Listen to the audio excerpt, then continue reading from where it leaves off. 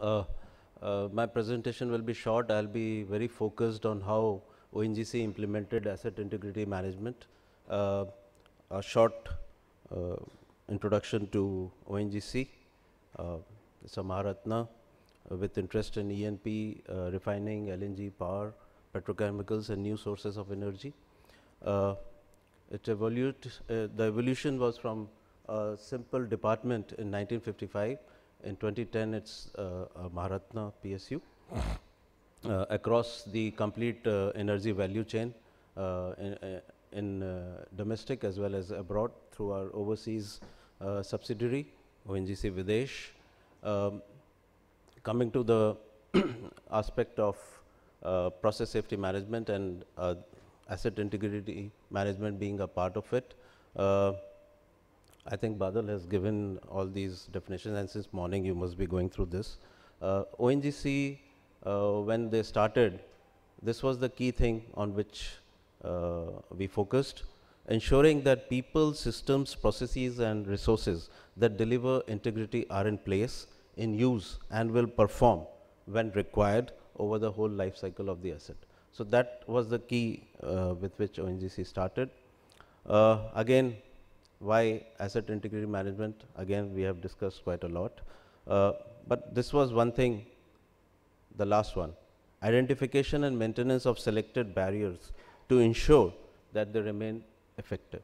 So this became a key point from where uh, ONGC started. It started as a, the asset integrity management uh, implementation was taken as a pilot project uh, for a few of the installations. ONGC has footprint across the country and uh, uh, more than 406 uh, installations plus uh, 220 unmanned offshore platforms.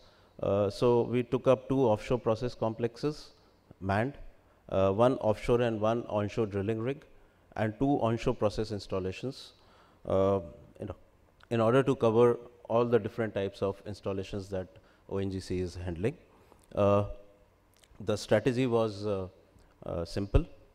Uh, first, to identify the major accident hazards, safety jargon, top events or something that may lead to loss of integrity of the asset. Then the second was identification of the safeguards in the form of safety critical elements. Uh, then uh, working out the performance standards for these identified SCs and establishing a mechanism for maintenance and monitoring of these SCs. So this was uh, what the project was all about. The stage one was identification of uh, major accident hazard. ONGC utilized uh, uh, a service provider to help them in this uh, pilot project.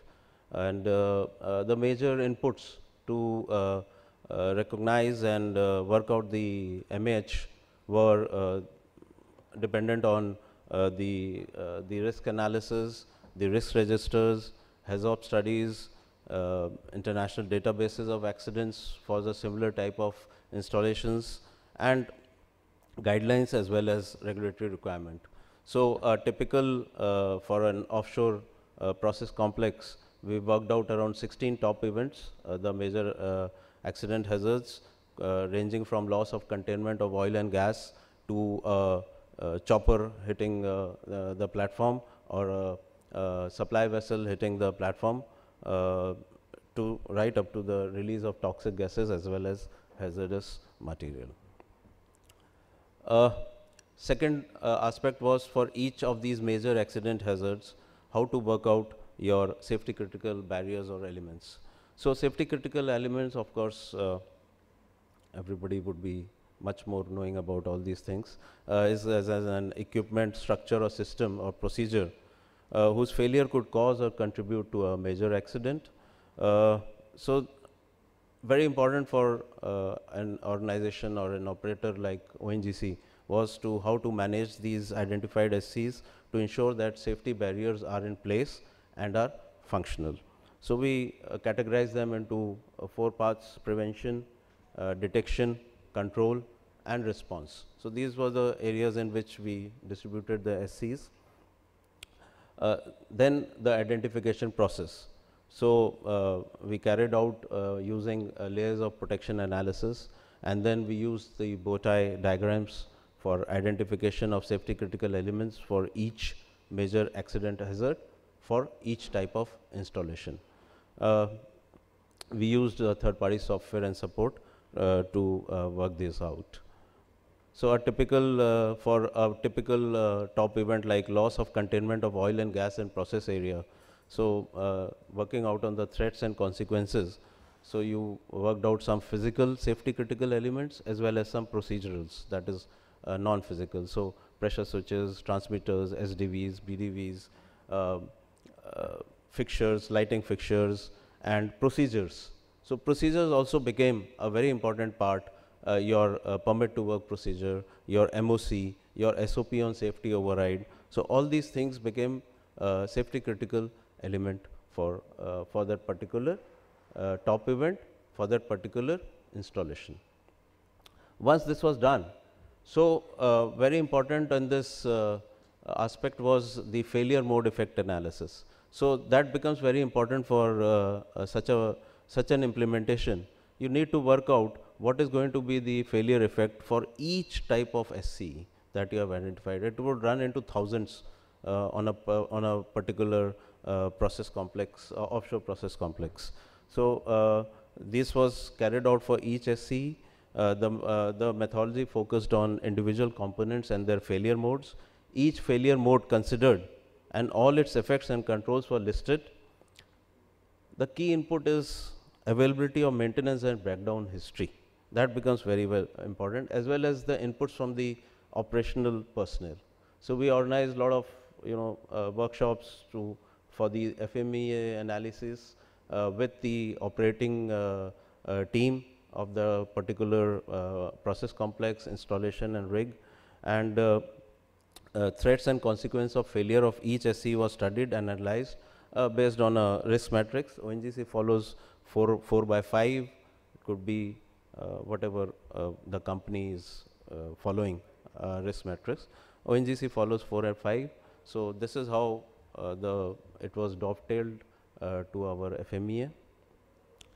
Then came the important aspect of how to you know maintain and the maintenance task lists were prepared for each SC for each installation. Mostly it was uh, OEM guidelines, OISD, API, NFPA, IOGP and IEC guidelines that were there. Uh, detectable uh, critical performance parameters of SCs, each SCE was defined, each type of SC, and then it became for each particular SC. And limits of functions were defined based on above standards. Maintenance schedule was also incorporated. So there was a 7 day, 14 day, 1 month, 6 month, quarterly, 6 month, annual, 5 yearly also for some of the SCs. Learnings. So, bow tie analysis seemed to be a sound technique to develop a robust system of asset integrity management. FMEA workshops which actually establishes the monitoring and performance criteria of SC is a key link. That is an important aspect.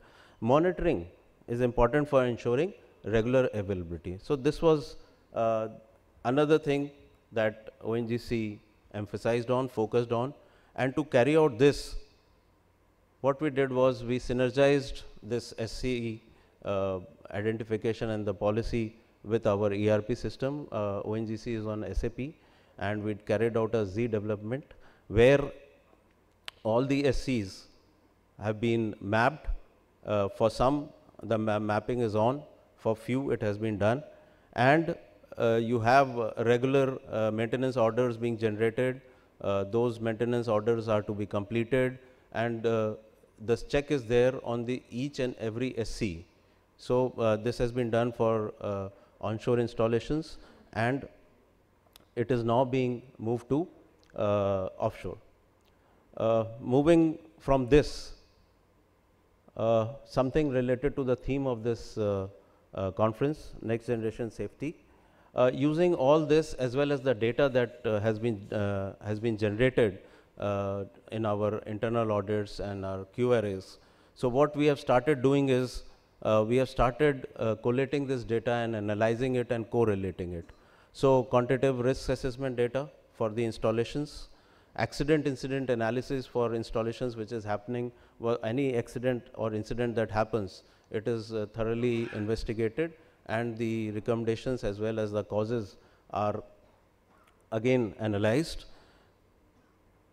Audit observations that are there, the internal audits, audits carried out by external uh, regulatory agencies, inspections carried out by uh, DGMS, audits carried out by OISD, all are analyzed and correlated. Then the data that is coming from our SC monitoring online, uh, that also is being correlated. After correlation of all these four, what we have started doing is uh, issuing predictive safety alerts. So this is something which we have started uh, recently, uh, where uh, we are bringing out that after these analysis, uh, we find that one, some of the installations, some of the SCs may not be available or there could be certain other procedures which may not be, are not being followed. So they are susceptible to particular type of incidents which have happened on similar installations. So, uh, for example, uh, gas leakage, loss of containment. So, uh, we have started this uh, uh, in a big way now and uh, some people would feel that this is something which we are predicting an accident or something. It's not like that. What we are predicting is that chances are that you can face such incidents. With this, thank you so much.